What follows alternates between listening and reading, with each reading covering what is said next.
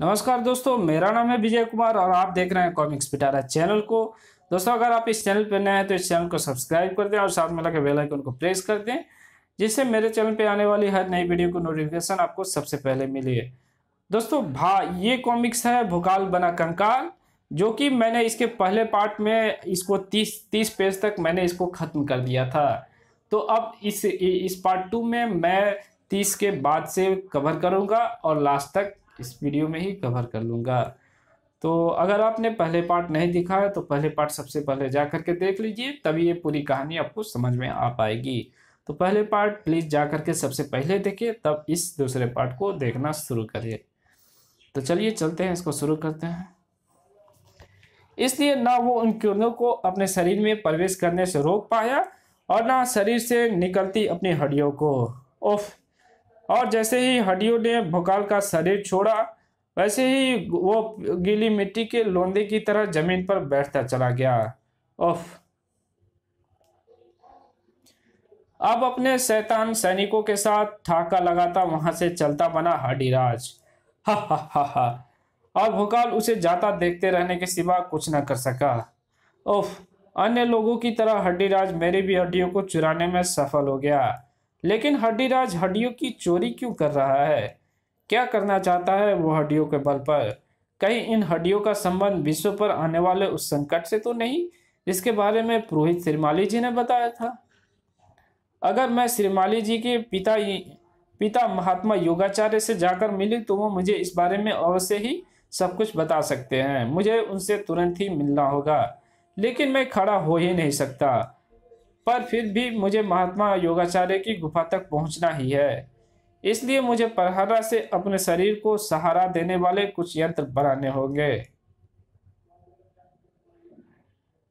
ताकि मैं उनकी सहायता से खड़ा होकर अपने पंखों की सहायता से उड़ सकूँ। आज बड़े काम आ रहे हैं ये पंख। इन पंखों को मेरे कंकाल से कोई संबंध नहीं। इसलिए उनकी हड्डियाँ अभी भी सही सलामत है। और मुझे पहली सी गति प्रदान कर रही है। जल्द ही। इस पवित्र गुफा तक तो मैं पहुँच गया, लेकिन पुरोहित परिवार का ना होने के कारण मैं गुफा में प्रवेश नहीं कर सकता और अपने प्रण के कारण महात्मा योगाचार्य बाहर नहीं आ सकते। तुम सही सोच रहे हो, महाबली। हमने वास्तव में गुफा से बाहर न आने का प्रण लिया हुआ है। परंतु यह प्रण हमने मानवता के भलाई के मानवता के भले के लिए लिया था। लेकिन तुम्हारी दशा देखकर लग रहा है कि अब हमारे प्रण का कोई औचित्य नहीं रहा। क्योंकि अगर हम बाहर ना आए तो वो मानवता, वो मानव और मानवता ही नहीं बचेगी, जिसके भले के लिए हम तप कर रहे हैं। गुफा से निकलकर, भोकाल के सामने आ खड़े हुए महात्मा योगाचार्य, क्षमा कीजिएगा महात्मन, शरीर में अस्थियाँ नहीं है, इसलिए आपका आशीर्वाद लेने के लिए आपके चरणों में नहीं झुक सकता। कृपया करके मेरे कुछ प्रश्नों का उत्तर देकर मेरी शंकाओं का निवारण कीजिए। वकाल ने अपने प्रश्न बताए तो उसके उत्तर में गंभीर स्वर में बोले, महात्मा योगाचार्य, हमारे पोते से दिव्य भभूत छीन लेने के पीछे हड्डी राज का उद्देश्य अत्यंत भयानक है, महाबली। उस भभूत के बल पर वो ऐसा शैतान सेना का निर्माण करना चाहता है, जिसकी सहायता से वो देवलोक पर चढ़ाई करके विजय प्राप्त कर ले। परंतु वो चाह वो जानता है कि अगर वो देवलोक पर चढ़ाई करने में सफल भी हो गया तो देवराज इंद्र के वज्र का सामना नहीं कर सकता। इसलिए वो, किसी ऐसे पुण्य इसलिए वो किसी ऐसे पुण्य मनुष्य की अस्थियों की खोज में है, जिसका अस्त्र बनाकर वो इंद्र के वज्र को मात कर सके। उससे ये नहीं पता कि वो पुण्य मनुष्य कौन है, जिसके अस्थियों से वो इंद्र के वज्र को टक्कर देने वाला अस्त्र बना सकता है। इसलिए वो हर मनुष्य की अस्थियों की चोरी कर रहा है, जो उसके सामने पड़ रहा है। ऐसा करने के पीछे उसकी में मनसा भी है कि कभी तो उसकी खोज पूरी होगी। और ये मुझे अत्यंत दुख के साथ कहना पड़ रहा है कि तुम्हारी अस्थियाँ चुराते हुए उसकी खोज पूरी हो गई है। मेरी अस्थियाँ? हाँ बली। हाँ महाबली। तो भी वो पुण्य मनुष्य है और जिसकी अस्थियों से अस्त्र बनाकर देवराज इंद्र के वज्र को चूर चूर चूर किया जा सकता है। लेकिन ऐसा कैसे हो सकता है महात्मन? किसी मनुष्य की अस्थियाँ देवता इंद्र के वज्र का सामना कैसे कर सकती है? तुम भूल रहे हो महाबली कि देवता इंद्र का वज्र भी मनुष्य की अस्थियों का ही बना है। महान ऋषि दधीची को याद करो महाबली। ऋषि दधीची ने ही अपनी अस्थियों का दान वज्र बनाने के लिए किया था। बाकी मनुष्य की अस्थियों की सहायता से हड्डीराज स्वर्ग पर चढ़ाई करने का रास्ता बनाएगा। एक क्षण रुको महावली अपनी बात बीच में रोककर महात्मा योगाचार्य ध्यान मग्न हो गए। अचानक उनकी चिंता से भरा स्वर भुकाल के कानों में पड़ा। ओह, अनर्थ हो गया महाबली। हड्डीराज ने मनुष्य की अस्थियों का रास्ता बनाकर देवलोक पर चढ़ाई शुरू कर दी है। उसके पीछे उसकी शैतानी सेना और उसके हाथ में है तुम्हारे हड्डियों का बना हुआ हथियार। जिसे वो शीघ्र ही सिद्ध करके वज्र से भी घातक और विध्वंसक अस्त्र बना लेगा और उसे सिद्ध करने के लिए वो पहले यज्ञ पहले यज्ञ, एक यज्ञ करेगा। उसे रोकना होगा महाबली, अन्यथा वो इतना अधिक शक्तिशाली हो जाएगा, फिर उसे कोई नहीं रोक सकेगा। मैं ऐसा नहीं होने दूँगा महात्मन। मैं उसे रोकने जा रहा हूँ। रुक जाओ महाबली। बिना अस्थियों के इस शरीर के बल पर तुम उसे नहीं रोक पाओगे। तुम्हारे शरीर को अस्थियों की आवश्यकता है, परंतु मेरी अस्थियाँ तो हड्डी राज के पास है। वे मेरे शरीर में वापस कैसे आएँगी? अपनी अस्थियों को तो तुम्हें स्वयं ही प्राप्त करना होगा, परंतु फिर भी तुम्हारे शरीर को अस्थियाँ मिलेगी। ऐसा कैसे होगा महात्मन? जवाब में एक मोहन मुस्कान खेल गई महात्मा योगाचार्य के अद्र पर। सैकड़ों वर्षों पुराना इतिहास आज फिर दोहराया जाएगा।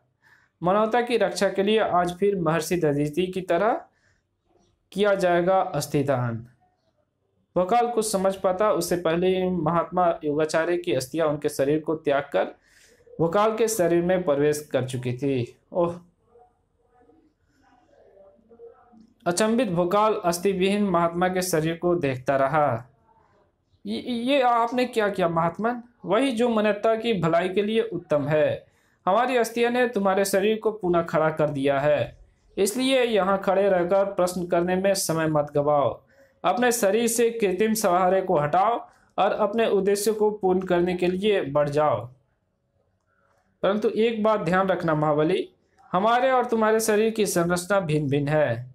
इसलिए हमारी अस्थियाँ तुम्हारे शरीर का साथ अधिक देर तक नहीं कर, नहीं दे सकते, दे सकेगी। तुम्हारी, तुम्हें अतिशीघ्र अपनी हड्डियाँ प्राप्त करनी होगी। जब तुम ऐसा करने वाले होगे तो हमारी अस्थियाँ स्वयं तुम्हारे शरीर का साथ छोड़ देगी। अब जाओ, जो आ गया महात्मा भुकाल ने पूरी श्रद्धा के साथ उस अस्थिदान कर्ता को प्रणाम किया और अपने पंखों की सहायता से द्रुत गति से उड़ता चला गया उधर। जहाँ हड्डीराज देवलोक पर चढ़ाई करने से पहले भोकाल की हड्डियों से बने अस्त्र को सिद्ध करने में जुटा हुआ था। भ्रिम भ्रिम महाशैतान, नमो। पृथ्वी की जगह मैंने ये यज्ञ पृथ्वी की जगह मैंने ये यज्ञ आकाश मार्ग में करने का निश्चय इसलिए किया है ताकि इस वातावरण में महाशैतान की शक्तियों को इस अस्त्र तक पहुँचने और उसे विध्वंसक बनाने में ज़्यादा समय ना लगे। ओह, नहीं, यह कुंड में आहुति देता हड्डीराज का हाथ अचानक ऐसे ठिटका जैसे एकाएक लकवा मार गया हो। और ये हालत सिर्फ़ उसके हाथ की नहीं, बल्कि उसके सारे शरीर की भी थी।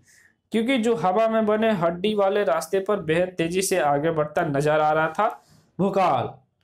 ये ये ये तो भूकाल ही ही तो है, जो तेज़ी से इधर ही बढ़ता आ रहा है। परंतु वह सामान्य रूप से खड़ा होकर कैसे चल रहा है? उसकी हड्डियाँ तो इस शस्त्र के रूप में मेरे पास है। खैर, भूकाल कैसे खड़ा हुआ, मुझे इससे मतलब नहीं। मुझे तो इससे मतलब है कि वो मेरे पास ना पहुँच पाए। और ऐसा तभी हो सकता है जब मैं अपनी काली विध्वंसक किरणों से उस रास्ते को नष्ट कर दूँ, जिससे भोकाल आगे बढ़ रहा है। काली किरणों के उस भीषण वार ने हड्डियों के रास्ते के परखच्चे उड़ा दिए। इसी के साथ भोकाल नीचे की तरफ़ ऐसे लहरा उठा, जैसे पेड़ से टूटा नारियल। लेकिन भोकाल और नारियल में एक बहुत बड़ा फ़र्क था। नारियल के पंख नहीं होते हैं, इसलिए भोकाल की तरह उड़ नहीं सकता। मूर्ख हड्डीराज कंकाल रास्ते को नष्ट करके तूने अपना ही नुकसान किया है। भोकाल का इस पर कोई प्रभाव नहीं पड़ने वाला, क्योंकि भोकाल अपने पंखों की सहायता से उड़ सकता है। हा हा हा हा। अपना नुकसान कर लूँ, इतना मूर्ख नहीं हूँ मैं। कंकाल रास्ते को नष्ट करके पहले ही मैं जानता था कि तू उड़कर मेरी तरफ़ बढ़ेगा। लेकिन मैंने इसका प्रबंध पहले से ही कर रखा है। तो उड़कर मेरे पास पहुँचने की जगह सीधा यमलोक पहुंचेगा। अत्यंत जहरीले धुएँ के ये बादल जहाँ, यहाँ के वातावरण में चारों तरफ़ फैले हुए हैं। इन बादलों में जो भी घुसेगा, क्षण भर में ही पानी पानी हो जाएगा। ओह, भोकाल ने तुरंत ही अपनी गति पर लगाम लगाई। ओफ, सही समय पर मेरी निगाह उस गीत पर पड़ गई, जो उस धुएँ के बादल में प्रवेश करके पिघल गए, वरना उन बादलों में घुसकर मेरा भी हाल उन्हीं जैसा होता। इसका सीधा सा अर्थ है कि वे जहरीले धुएँ के बादल हैं। उन्हें पार करने के लिए मुझे करनी होगी थोड़ी सी तैयारी। भोकाल ने तुरंत ही खुद को परहरा की सहायता से एक आवरण में कैद किया और अब मैं बेखटक, बेखटके, बेखटक इस जहरीले धुएँ में प्रवेश कर सकता हूँ। परहरा की किरणों से बना ये आवरण इसके प्रभाव से मेरे शरीर की रक्षा करेगा। ओ नहीं, मेरा सोचना गलत निकला। परहरा की किरणों का आवरण भी पिघलने लगा है और तेज़ी से पिघलता जा रहा है। कुछ ही क्षणों में ये मेरे शरीर से पिघल कर गिर जाएगा और फिर पिघलने की बारी मेरे शरीर की होगी। और अब चूँकि मैं ना आगे बढ़ने की स्थिति में हूँ, ना पीछे हटने की स्थिति में, इसलिए मैं अपने शरीर को किसी भी तरह पिघलने से नहीं बचा सकता हूँ। अपने शरीर को पिघलने से बचा सकता हूँ। मैं और उसके लिए मेरे पास बहुत ही कम समय है, क्योंकि अपने उपाय को कार्यान्वित करने के लिए मुझे परहरा के आवरण को अपने शरीर से हटाना होगा। और मेरे ऐसा करते ही ये जहरीला बादल मुझ पर अपना प्रभाव डालने लगेगा, डालने लग जाएगा। इसलिए मुझे अपने शरीर से परहरा का आवरण समाप्त करते ही बिना कोई क्षण गवाए पंखों को बेहद तेज़ी से हिलाकर इतनी तेज हवा उत्पन्न करनी है जो इन बाद जो इन धुएँ के बादलों को उड़ाकर यहाँ से दूर ले जाए। अपने बड़े पंखों का यह प्रयोग मैंने उन गरुड़ मानव से सीखा है। पिछले दिनों जिन्होंने अपने पंखों की सहायता से विकासनगर को भयानक संकटों में फंसा दिया था। अपने विलक्षण पंखों की सहायता से भोकाल न सिर्फ़ उस भयंकर संकट को अपने से दूर भगाने में सफल हुआ था, बल्कि अपने दुश्मन के चेहरे पर चिंताओं की लकीर खींचने में भी सफल हुआ था। ओह वो जहरीले धुएँ के बादलों से बचकर इधर ही आ रहा है। रोको उसे। ओह, इस बार अपने शैतान सैनिकों के बल पर मेरा रास्ता रोक रहा है, हड्डीराज। परंतु शायद उसे नहीं मालूम कि भोकाल एक ऐसा तूफ़ान बन चुका है, जिसे शैतानियत का, जिसे शैतानियत का कोई भी पर्वत उसे नहीं रोक सकती। अंधाधुन उस शैतान सैनिकों पर ज़रूर उस शैतान सैनिकों पर ज़रूर टूट पड़ा था भोकाल, लेकिन दिमाग अभी पूरी तरीके से उसके साथ थी। सभी शैतान सैनिक पहले ही मरे हुए हैं, इसलिए इन्हें मारने का प्रयत्न करना, अपनी शक्तियों का वृहत प्रयोग करना ही होगा। इसलिए अच्छा यही होगा कि मैं इन्हें मारने की जगह प्रहरा के बंधनों से कैद करता जाऊँ। वैसे प्रहरा के बंधनों में अधिक देर तक कैद तो नहीं रहेंगे, परंतु मुझे इतना समय अवश्य मिल जाएगा कि मैं इनसे छुटकारा पाकर हड्डीराज तक जा पहुंचूं। त्रिलोक विजयी बनने का अपना हर प्रयास बंद कर दे हड्डीराज, क्योंकि मुझे तेरे मृत्यु के देवता के पास पहुंचाना है। मृत्यु हड्डीराज के पास आने से भय खाती है भोकाल इसलिए मुझे नहीं अपने मृत्यु देवता के पास, तुझे अपने मृत्यु के देव, तुझे अपने मृत्यु देवता के पास पहुँचना है। मेरी इन काली किरणों का शिकार बनकर आज भोकाल पर तेरी कोई भी काली पीली किरणों का असर नहीं हो नहीं करने वाली। भोकाल तेरे लहू से इस यज्ञ अग्नि को बुझाकर अपनी हड्डियों को तेरे सिकंजे से मुक्त करके तेरी हर सपने को चूर चूर कर देगा। जिसका आरंभ जिसका आरंभ होगा तेरे इस शक्ति तंत्र के टूटने से। ओह तो तू मेरे शक्ति तंत्र को तोड़कर मेरा सपना तोड़ना चाहता है? चल, मैं तुझे ऐसा करने का एक अवसर देता हूँ। ये ले, मैंने तेरी हड्डियों से बने इस हथियार को इस जलकुंड में डाल दिया है। जल्दी कर पुकार तेरे पास कुछ ही क्षणों का समय है, क्योंकि इस जलकुंड से तेरी हड्डियाँ कुछ ही क्षणों में ऐसे विलय हो जाएगी, ऐसे विलय होकर रह जाएगी कि तू इन्हें फिर कभी नहीं पा सकेगा। जीवन भर बिना हड्डियों के घूमेगा।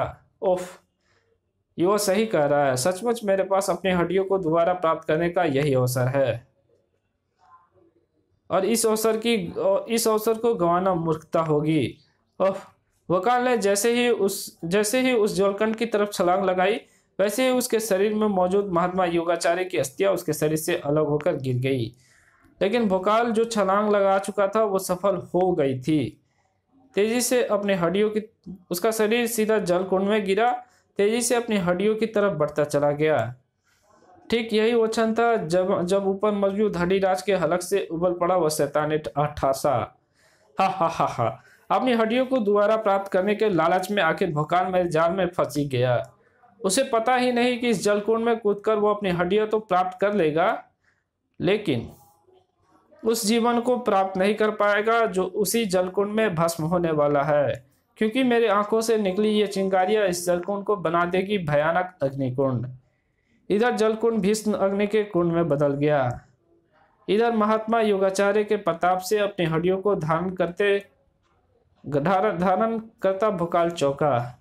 ओफ ये क्या? इस जलकुंड के जल में आग लग गई? मुझे तुरंत ही यहाँ से निकलना होगा। अन्यथा यहीं भस्म होकर रह जाऊँगा मैं। ओफ ऊपर पहुँचने के लिए मुझे भीषण संघर्ष करना पड़ रहा है। निश्चय ही हड्डीराज ने इस अग्नि को अपने दुष्शक्तियों से अभिमंत्रित कर रखा है। ओफ अत्यधिक संघर्ष करके भोकाल उस अग्निकुंड से बाहर तो निकला लेकिन तब तक उसका सारा शरीर खुद एक अग्निकुंड बन चुका था। उस आग से धू धू करके जल रहा था, भोकाल का शरीर, भोकाल, जल रहा था भोकाल, उसके शरीर का कोना कोना जो बुझाने की कोशिश से और भी ज़्यादा भड़क रही थी। जल्दी भोकाल के शरीर का मांस जलने की गंध वातावरण में घुलने लगी थी और भोकाल की चीखों से कांपने लगा वातावरण का कलेजा। और भोकाल के कंठ से, कंठ वो चीखों से कंठ से वो चीखे तब तक उबलती रही। जब तक अग्नि ने उसके शरीर को भस्म करके उसे कंकाल में नहीं बदल दिया, अग्नि ने एक महाबली के जीवन का अंत कर दिया। और जैसे ही ऐसा हुआ, वैसे ही हड्डीराज के हलक से गुजरने लगा। गुजरने वाले ठाके ने सारा आकाश हिला दिया। हा हा हा हा। जो कंकाल मेरे सामने पड़ा है, अब उसे मुझसे छीनने का प्रयत्न कोई नहीं कर सकता, क्योंकि भोकाल नामक जिस महाबली का शरीर ऐसा कर सकता है वो राख बना पड़ा है। अब इन कंकाल रूपी हड्डियों का स्वामी मेरे सिवा और कोई नहीं हो सकता। इसलिए अब इन हड्डियों से बने हथियार के बल पर ना मुझे कोई तीनों लोग को जीतने से रोक सकता है और ना त्रिलोक शर्माट होने से। सफलता के नशे में चूर हड्डीराज नहीं जानता था कि वहाँ सिर्फ़ वही कंकाल नहीं पड़ा था, जिसके बल पर वो त्रिलोक सम्राट बनने की सोच रहा था। बल्कि वो कंकाल भी पड़ा था।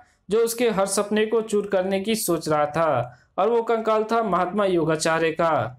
और उस कंकाल के हाथ में प्रकट हो रही थी वह दिव्य भभूत, जो वर्षों पहले भस्म हुए योद्धाओं को भी जीवित कर सकती है, जीवित कर सकती थी। तो फिर भला वो भभूत उस भोकाल को कैसे जीवित ना करती, जो अभी कुछ अभी कुछ क्षण पहले ही भस्म हुआ था। नया जीवन पाकर एक झटके से उठ खड़ा हुआ महाबली। इसी के साथ हड्डीराज के हलक से उबलता ठहाका दर्दनाक चीखों में बदल गया। भड़ाक आह! जो जीवन सदा पाप का अंत कर, करने में समर्पित होते हैं ईश्वर उन्हें इतनी आसानी से स्वीकार इतनी आसानी से स्वीकार नहीं करता। वो उन्हें किसी न किसी बहाने वापस भेज देता है। तो जैसे पापी का अंत कर देने के लिए और अब तुझे समाप्त करने में ज़्यादा देर नहीं लगेगी। क्योंकि तेरी शैतानी शक्तियों को मैं पहले ही समाप्त कर चुका हूँ। मेरी शक्तियों को मात करके तू ये मत समझ भोकाल कि तू मुझे समाप्त कर देगा। हा हा हा हा। मुझे समाप्त करना असंभव है, क्योंकि मेरे प्राण मेरे हृदय में है और मेरे हृदय मेरे शरीर में है ही नहीं। वो तो उस शैतानी सेना के किसी एक सैनिकों के सीने में धड़क रही है, जो तुझे टुकड़ों में बदलने मेरी तरफ़, तेरी तरफ़ बढ़ रही है। मुझे छोड़कर अपने प्राणों की चिंता कर, क्योंकि जैसे ही मुझे मेरा कंकाल मिलेगा, वैसे ही मेरी सभी शक्तियाँ वापस आ जाएगी। ओफ एक बार फिर ये शैतान मुझे समाप्त करने पर उतारू हैं, और इस बार इनकी संख्या इतनी अधिक है कि मैं प्रहरा से इन सबको नहीं रोक पाऊँगा। मुझे इनसे बचने के लिए कुछ और सोचना होगा, अतिशीघ्र, क्योंकि मुझसे ज़्यादा देर तक बचे रहना असंभव है। लेकिन इनसे बचने के लिए क्या किया जाए? दिमाग के घोड़ों को पूरी गति से दौड़ाने लगा, दौड़ाने के बाद। भोकाल को दिखाई दी वो अंधेरे की रोशनी की किरण। इन शैतान इन शैतान सैनिकों पर प्रहारा का कोई लाभ नहीं। लाभ तो तब होगा जब मैं हड्डीराज पर वार करूँगा। लगता है तुम मेरे हाथों से मरना चाहता है, तभी मुझ पर वार कर रहा है। चल तेरी ये इच्छा मैं पूरी किए देता हूँ। भोकाल पर टूट पड़ा। वो भोकाल पर टूट पड़ा। और इसी के साथ भोकाल को अधर भोकाल के अधरों पर मुस्कान खेल गई। बहुत खूब और तेज। और तेज़ी से प्रहार कर। यही तो मैं चाहता हूँ क्योंकि जितनी तेज़ी से तू वार करेगा उतनी तेज़ी से तेरी सांस फूलेगी। और जितनी तेज़ी से तेरी सांस फूलेगी उतनी ही तेज़ी से तेरा वो हृदय धड़केगा जो तेरे शरीर में नहीं किसी शैतान सैनिकों के शरीर में है। बिल्ली की तरह तीखे कर लिए थे भोकाल ने अपने कान उस आवाज़ को सुनने के लिए जिसकी वहाँ से उस, जिसकी उसे वहाँ से गुजरने की आशा थी। अब भोकाल की वो आशा उस समय पूरी हुई जब उसके कानों में गुजा वो धक धक की हल्की सी आवाज़। हृदय के धड़क, हृदय के धड़कने की यह आवाज़ शैतान सैनिक की भीड़ में मौजूद उस सैनिक के सीने से आ रही है। इसलिए उसी सैनिक को, उसी सैनिक का सीना है मेरी तलवार का निशाना। निशाना चुक था। भोकाल की तलवार ने उस सैनिक के सीने के साथ साथ उसके धड़कते हुए धड़कते उसमें उसमें धड़कते हड्डी राज के हृदय को भी चीर डाला। इसी के साथ चिकता हुआ हड्डीराज कटे हुए ब्रिज की भांति नीचे आ गिरा। कुछ देर तड़पा और फिर शांत हो गया, सदा के लिए। समाप्त हो चुका था तीनों लोगों का जीत लेने वाला सब समाप्त हो चुका था तीनों लोगों को, तीनों लोगों को जीत लेने का सपना देखने वाला वो शैतान। और उसके साथ ही उसकी शैतानी सेना और उसकी भाषा भी समाप्त, उसकी माया भी समाप्त हो चुकी थी। फिर बाद में तुमने तीनों लोगों को, तीनों लोगों को एक दूसरे राक्षस के आतंक से बचा लिया। तुम धन्य हो, महाबली। धन्य तो धन्य मैं नहीं, आप है महात्मन। अगर आप अपने दिव्य भभु से मुझे पुनः जीवन प्रदान ना करते तो मैं तो समाप्त हो ही गया था। कृपया आप अपना कंकाल ग्रहण कीजिए और अपने पौत्र को दिव्य भूत देकर आज्ञा दीजिए, ताकि मैं आपके परिवार के सदस्य के हाथों ही आपके पुत्र पुरोहित श्रीमाली जी को जीवित करवा सकूँ। और उन लोगों को दोबारा अस्थियाँ दे सकूँ जिनकी हस्तियों, जिनकी अस्थियों को हड्डीराज ने चुराया था। जल्द ही बालक हरिमोहन के साथ दिव्य भगवत को लेकर राजधानी की तरफ़ उड़ चला था महाबली भोकाल। इसी के साथ ये कॉमिक्स यहीं पर समाप्त होती है। मिलते हैं एक नई कॉमिक्स के साथ। तब तक के लिए विदा।